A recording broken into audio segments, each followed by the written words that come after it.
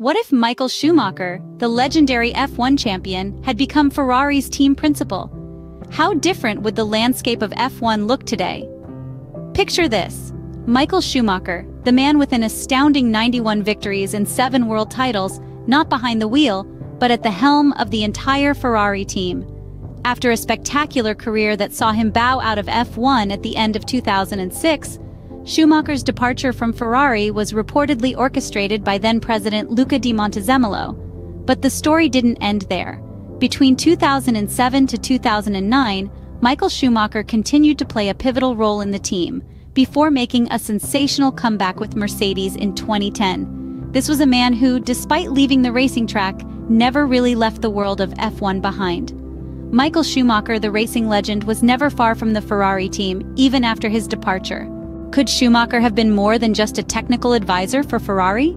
A question that has lingered for years, and it turns out the answer is yes.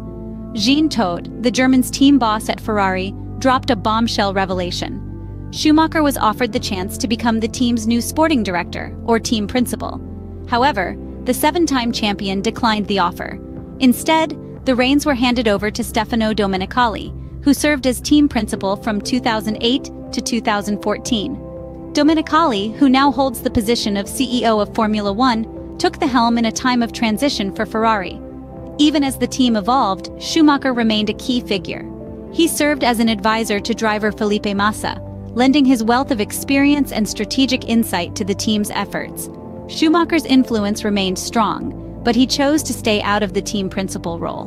While Schumacher's decision kept him off the Ferrari's management, his influence on F1 remains undeniable. The Scuderia struggled to maintain the momentum they had with Schumacher, Todt, and Brawn, leading to a decline in their success.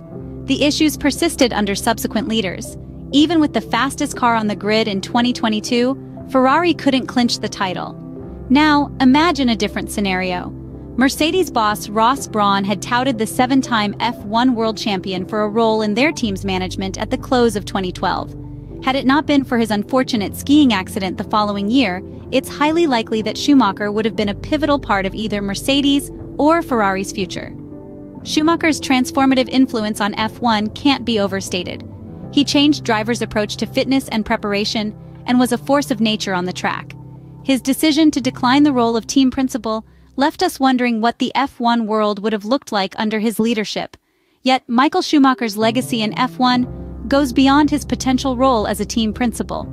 He revolutionized the sport, and left an indelible mark.